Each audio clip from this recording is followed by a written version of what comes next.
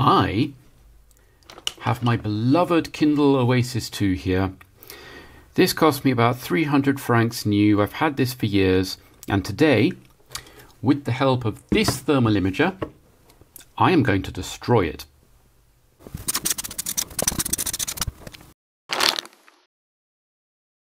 So, the context is that I am a compulsive reader. I read everywhere, on buses, on trains, sometimes while walking, while waiting for meetings at work, but sometimes while not waiting for meetings at work. I read constantly and I read on an ebook reader because it's so much easier than carrying paper books around. If you're in Zurich and you see somebody wandering around holding an ebook reader in one hand, it's probably me. I bought this years ago and I really like it. I like the solid metal case. It stands up to abuse really well. You can see it's considerably dinged up from having dropped this thing on concrete multiple times. I like the mostly thin case. It cheats by having the battery in the thick segment over here, but it makes a nice handle for holding it with. I like the completely flat glass screen. I like the fact it's got actual buttons. I like the fact it's waterproof, so it'll even work in the rain. The only thing I don't like is the fact that it stopped working. It has stopped working in a really stupid way. It no longer charges. I know what's happened. The USB socket here has failed. It started charging intermittently a few months ago, it got slowly worse, and now it's stopped charging completely. One of the contacts in the socket will have failed, it'll have corroded, and then charging uses a fairly high current and a high current through a dodgy contact will get hot and that will just burn it all out.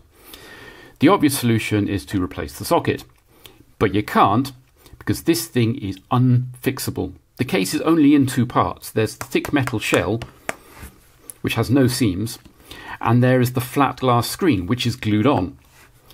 I've hunted around online for teardowns, and what you're looking at here is the only one I can find. And as you can see, it is not really what I would consider to be successful. In fact, I've been completely unable to find anyone who claims to have taken this thing apart while keeping it in one piece. So, thanks Amazon. Given that this thing is completely useless to me if it won't charge, I thought I would have a go myself. And that is where this comes in.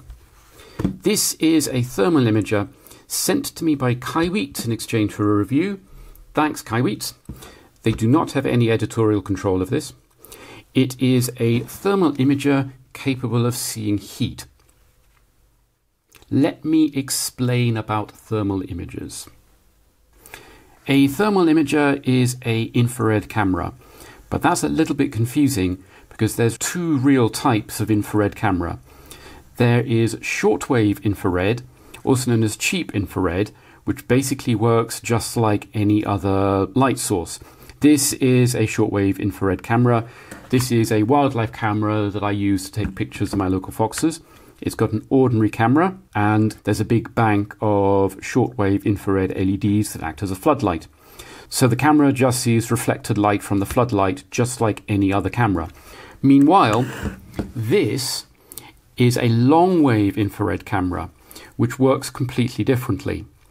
Long wave infrared is emitted by all objects based on how hot they are. Hot things produce lots of long wave infrared, cold things produce a small amount of infrared. This is much more difficult to pick up. This thing has a 256 by 192 resolution. The first consumer long wave infrared camera that I have ever seen was a clip on Bluetooth thing for a phone that had 8 pixels. That is 8 pixels total. And this ability to see heat is why they're called thermal imagers. Let me hook it up and give you a demonstration.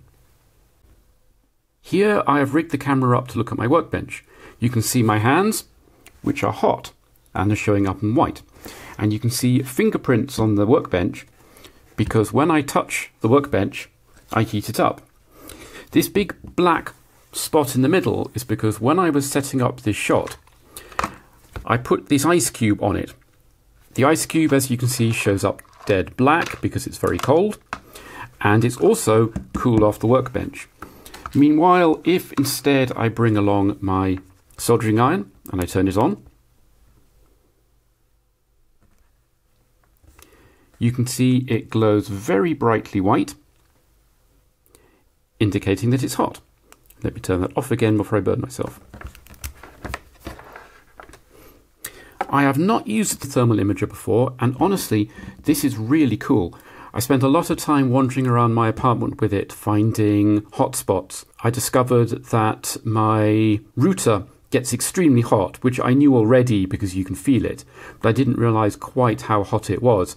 I also found another hotspot in the soundbar under my television, which was a little unnerving. I didn't realize it used quite so much power.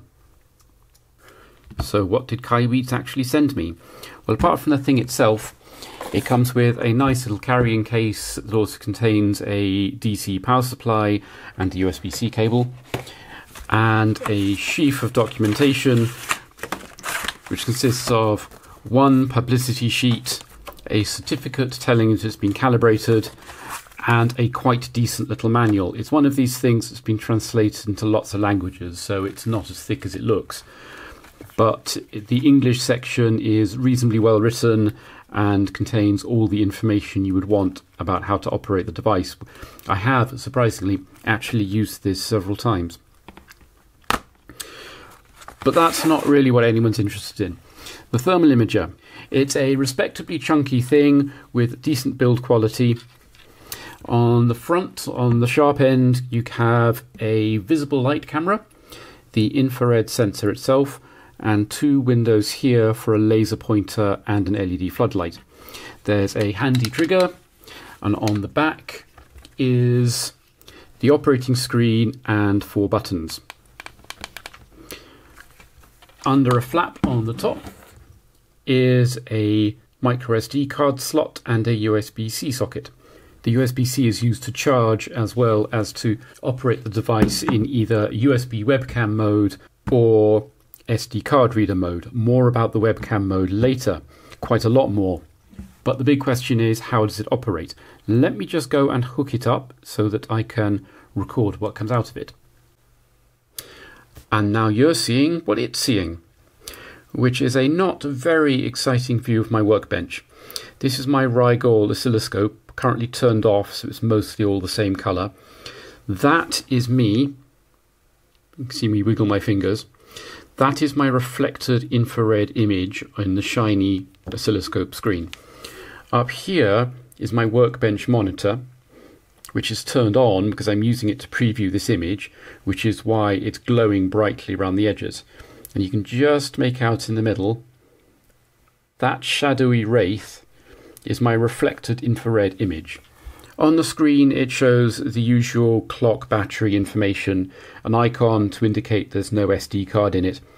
On the right is the scale. In this mode, it is automatically rescaling itself as I pointed at different things. And it's showing me that the minimum temperature, the blackest color it can show, is 22.6, and the whitest thing it can show is 27.4. There's actually not a lot of range here if I actually put my hand in front, you see the range expand because my hand is quite warm. If I move my hand right up close, the range contracts. You can configure this manually. You press and hold this button and you can set it to automatic, semi-automatic, completely manual, but that requires skill, so I leave it on automatic. There are a number of viewing modes. This is pure infrared. We've also got picture in picture that uses the visible light camera and overlays the infrared image onto it. We've got visible light that makes this thing work as a 160 by 240 webcam, which it is not very good at. We also have this mode which fuses the visible light and the infrared. It does edge detection on the visible light image, then overlays that onto the infrared, which allows you to see the outlines of what you're looking at. On my workbench, it doesn't work so well because the two sensors are separated by a few centimeters, so parallax means that it all goes a bit wrong when you're looking at stuff that's close up. But if I change this to some B-roll footage of outside views, you can see it actually works pretty well. And depending on what you're doing, it can really help figure out what it is you're looking at. I generally prefer plain infrared mode. This button also doubles as the menu button. So if I push this to get back to the main screen and menu, I said and menu, there we go. This shows the things in the menu. Gallery shows you any pictures stored on the SD card. You take pictures by pulling the trigger. Temperature range allows you to set two major temperature ranges I, I mean, are you looking at room temperature things or hot things, or you just leave it an automatic? Emissivity is part of the calibration mechanism to allow you to tell it what kind of objects you're looking at. This allows it to calculate the temperature more accurately. There are numerous options, including setting your own. I don't touch it. Palette allows you to change between various pseudo color palettes. So this is one of the more useful ones. This gives you a false color representation. Blue is cold, red is hot. Here's my hand, bright red. This can be useful to show hotspots. You can see my arm in the screen is now a different color but I generally prefer to leave that set to grayscale. Center point, if I turn that on, adds the crosshair in the middle of the screen. And now it measures the temperature of whatever it's pointing at. So the monitor's at 33 degrees. My hand is at also 33 degrees, which is about reasonable human skin temperature. The workbench is cooler and I don't have my ice cube anymore. Temp unit allows you to change the temperature unit that displays things in, of course, centigrade. ROI measure is interesting. This turns on, if I set it to this one, that box in the middle, it now shows the hottest and coldest point in it. So up here, the hottest point is clearly the monitor, and the coldest point is clearly the back wall of my workbench.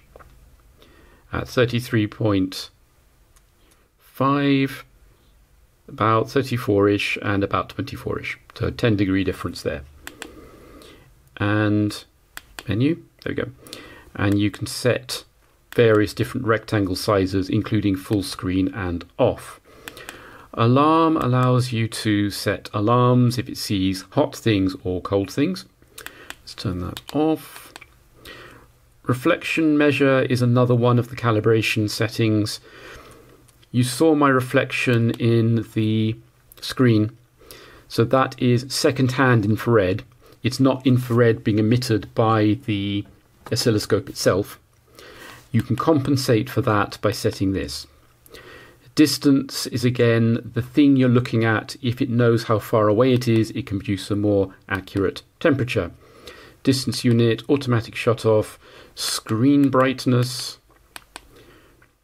And then we have laser and floodlight, which are interesting.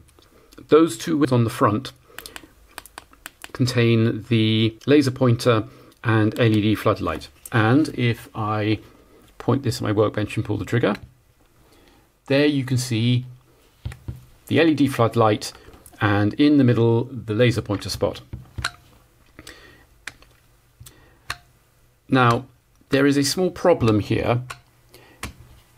You notice that it only actually engages maybe every other press. I'll talk about that later. Let's turn them off for the time being date, time, language, and the usual things. Picture in picture just changes the transparency level of the PIP overlay. This changes the resolution of the visible light camera. I don't know why it bothers, considering that it only ever emits 240 by 320 video. USB mode changes it from mass storage to USB webcam. I won't fiddle with that because I'm currently using it in USB webcam mode to record what you're looking at. Camera info shows the usual technical details. And we're back round to the top. And of course, this button is on, off, and back. And that's basically all there is to it. It is a fairly basic device. Kaiweets do make another one. This is the KTI-W02. The KTI-W01 has some more advanced features, the biggest one of which is video recording. And that's why this thing is hooked up by USB rather than recording video natively onto the SD card. This one only does still photographs. So that's what it does. Now let's start talking about the problems. It is not problem free. The first one you may already have noticed. Every now and again, the picture will freeze. Is it going to actually do this on demand? There we go. And it clicks internally. Do not know why it's doing it, but it's really annoying. I assume it's got something to do with automatic rescaling, but I've also had this pointing at a static image and it keeps doing that. It's maddening. The next thing is the laser and floodlight. Now, when these are enabled, you pull the trigger to activate them. But pulling the trigger also takes a photo. So you see it's now given me the confirmation box. If you pull the trigger again while the confirmation box is up, so like that, the lights don't go on. Ah, and now it happens because the confirmation box is timed out. So you wait for the box to time out, and now they'll work again. Given that the trigger is also the confirm button for the photo confirmation box, See, when I press it again, it complains about there being no SD card. It hasn't taken a picture. This means that, like, just using the thing, half the time it just doesn't work. And of course, you take lots of pictures. These should not be on the same button. This is a big UI failure. Anyway, turn those off. And now let's talk about the last and biggest issue, which is webcam mode. I am recording this from a Linux laptop.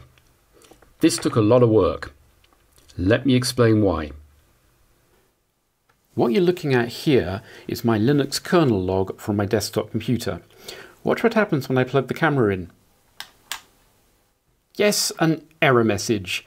This camera does not work on Linux, or on OS X for that matter. The issue is that the way that the UVC webcam interface works is the camera declares to the computer what video formats it supports, and these are referred to by UID. And the camera is reporting this one. Looking that GUID up on the internet takes us to this page, which lists a million different media types. Searching this gives us this. Turns out that this GUID refers to a direct 3D media type. It's just RGB565, but it's a different one than everyone else uses. If we then go and trawl through the Linux source code, we can find this table of all the GUIDs it supports. And somewhere down here, we have UVC GUID format RGBP, which is the normal one for RGB 565, and this is a different GUID. Luckily, actually fixing this is fairly straightforward. So I've got here a kernel patch which adds this particular GUID and to the appropriate place where it actually looks all these things up and maps them to Linux video pixel formats. And with that, plus another patch, because even with that, the UVC chipset they're using is buggy and it needs a particular workaround. This one, once I've done that, it then works on Linux. That's what I've been using to actually do all these recordings. So I'm trying to get these patches upstreamed into the Linux kernel to add support for this webcam. You're welcome, Kaiweets.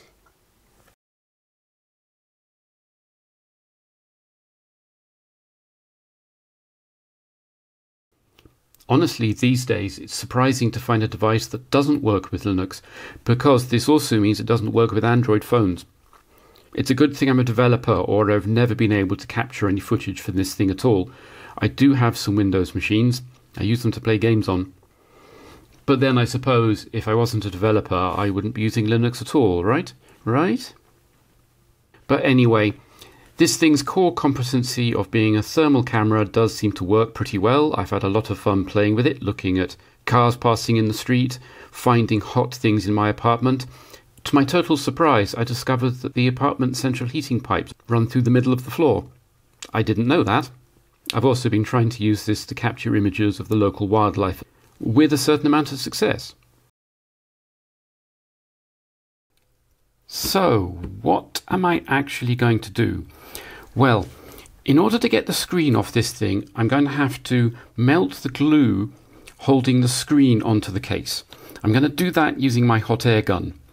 However, the hot air gun can get things really hot, and this has electronics, plastic buttons, and you know, a battery in it. So, this is going to be used to monitor the temperature of this Make sure it's even all the way around. I don't want it to melt on one side but still be solid in the other. And generally keep an eye on everything that's going on. This is almost certainly going to fail, but hey, worth a try. So here we are out on my nice non-flammable balcony. I have the Kindle hanging from a suction cup like this, so it will rotate nicely. I have my heat gun, and I have the thermal imager and the real camera hooked up. So I suppose the only real thing to do now is to turn up the airflow and see what happens.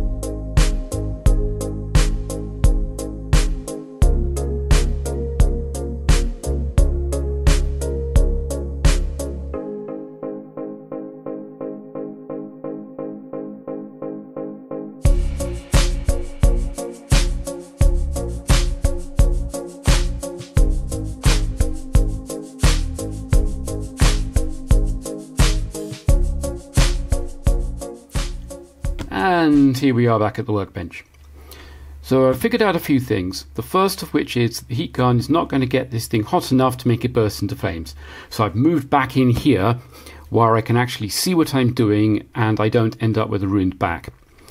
Secondly, taking the lid off this thing is going to be really hard. It's screwed together, then they stuck the e-paper screen on top of the screws, then this thing here was stuck on top of that. It's all held together with glue. But I think it might be possible to take the top layer off by prying all the way in with these screen disassembler things and peeling the entire top layer, which might be plastic, off.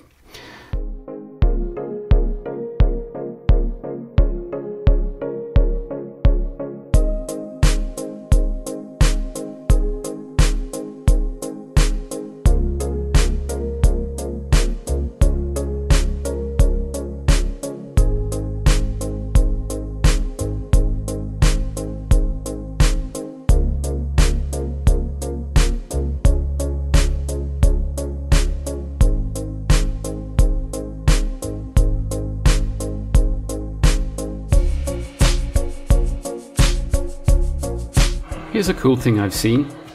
You see these little fractal patterns?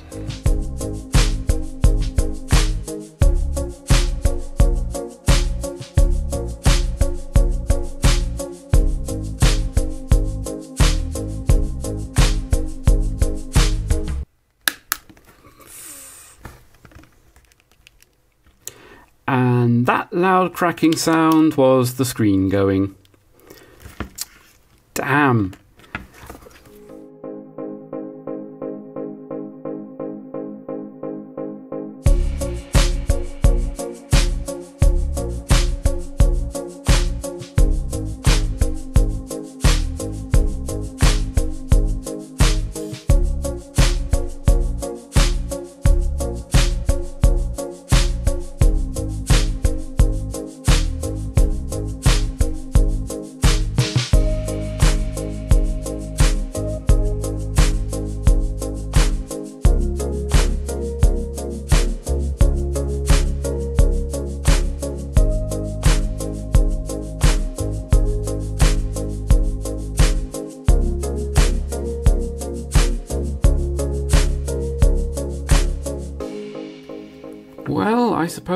Could have gone better. This is clearly never going to work again, but it has revealed a number of rather interesting things. So on the left you can see the the front panel. This contains the touchscreen, which has got connectors here. And in fact, there is a socket here which plugs in here. And as soon as I'd pushed the spudgers through, that was when the device died because these connectors are ridiculously screwed up. This also contains the assemblies for the buttons which go there. This whole thing is on a ribbon. Over on this side, we see very interestingly that in fact the screen is not glued directly to the touchscreen. There is a plastic sheet between the screen and the touchscreen. So let's just do a bit of prying here. It is stuck down. That's the reason why all the fragments of screen haven't come out. It's not stuck down very well. Oops, that was the screen going crunch.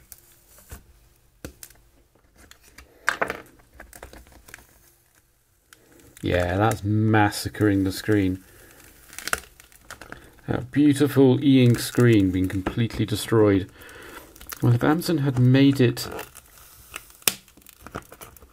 repairable, it wouldn't be being destroyed.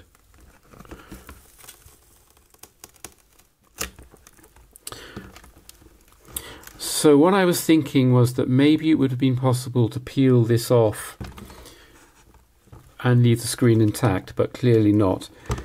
This is the back of the case here, and the screen itself is, is this glued down? Yes, it is. And we're actually looking at the, oh wow,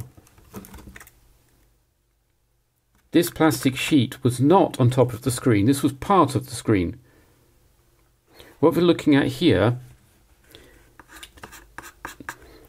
is the e-ink display itself. This is a glass sheet covered in tiny beads, each of which contains liquid with some black particles and white particles. By applying a electrostatic field, they can force the black particles to come to the top or not. I think that when I do this, I'm crushing the beads and what you're seeing are the carbon particles from inside. So if I do that with the, some of this black stuff, we might get white. Yeah, maybe. So yeah, that's incredibly delicate and now completely trashed. Over here on the back of the screen is a mirror surface that I think may contain the electronics layer. That would make sense given the way that this connector is fastened to this side. So this will be the thing that actually applies the charge. It's interesting to actually see it taken apart like this. I haven't done that before. It would be nicer if, you know, I didn't have to. So here's the ribbon cable holding it down. What holds this in? Not much. Oh, this will be a push fit connector. There we go.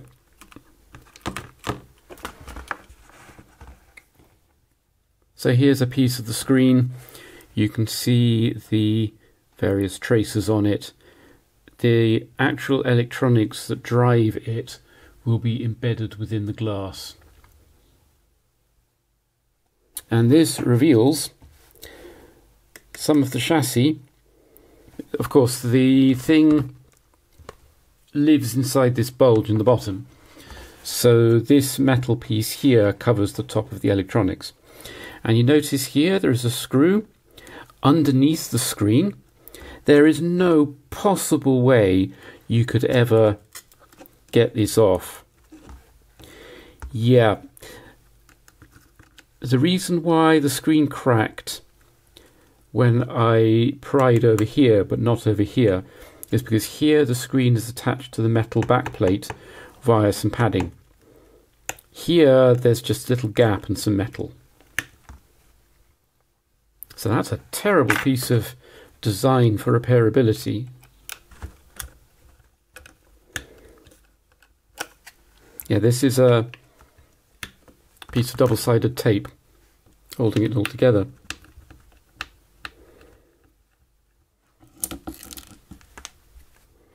This thing is shedding glass fragments everywhere. This is going to be extremely exciting to clean up. So can I actually get the top off the electronics box?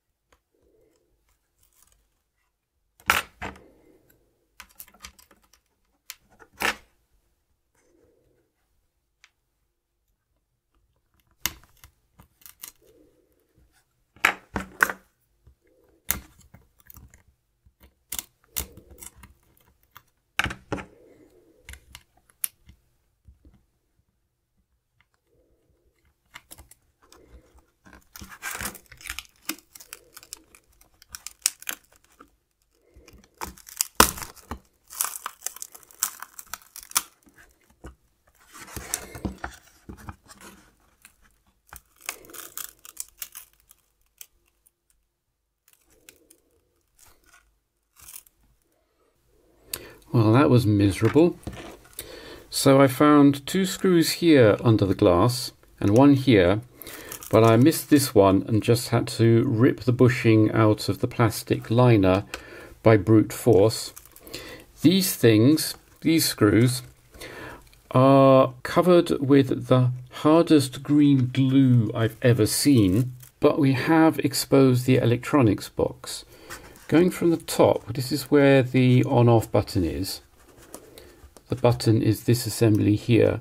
We've got some contacts, pogo pins, I think, that would push against the, the metal case, which, by the way, is held down with more double-sided tape, just to make things harder.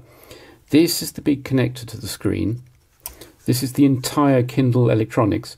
So what will be in here will be the CPU, RAM, flash, and this external box is probably the Wi-Fi module. Down here we've got the battery, which doesn't say, oh here it is, 3.7 volts, 1000 milliamp hour. Now this was failing, it doesn't feel very squashy. Given that, given how little, ooh, I don't like the way that's bending. Given how little space there was inside this thing, I can't imagine that any outgassing would have, you know, gone anywhere. I'd really rather like to get this thing disconnected. I think this is the contact here. It looks glued down. There we go, rip open with brute force. Alright, the thing is now no longer live. Even though the battery is probably completely flat, there may have still been a bit of charge in it.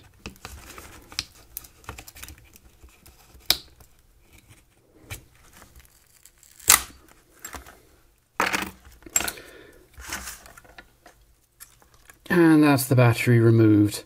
Hopefully in more or less one piece. It's a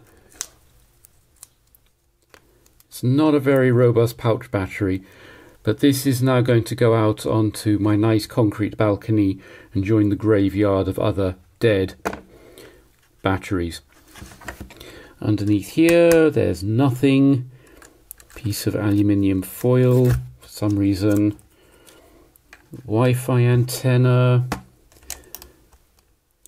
This, however, is of interest because this, if I undo these screws,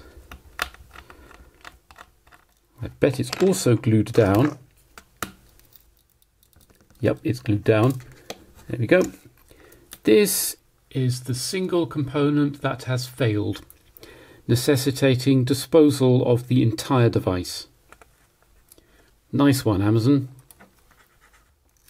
Me from the future here.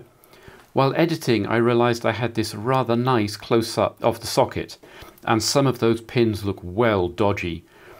That probably provides some insight as to what actually went wrong. The other thing I thought of doing was sawing through the bottom of the case to expose the socket. However, given that the battery went in here, then there would be no way to get access to this minuscule socket without sawing uncomfortably close to the battery, which I would rather not do. I did, however, have a backup backup plan, which was to soak the whole thing in IPA to see if that would make some of the glue come undone. The main PCB here doesn't seem to be held down by anything other than glue.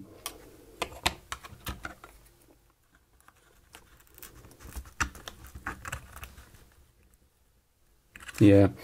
Here's the connector for the USB socket, and it is this ridiculously tiny push fit thing. Yeah, that's never going to go back in. So at this point, the thing is comprehensively trashed, as if you can't tell there may be some bits that I can salvage off it. I mean, this is a perfectly reasonable um, ARM single board computer.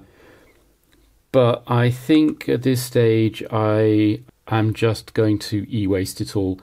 I'm getting increasingly concerned about the tiny glass fragments that my hands are covered with.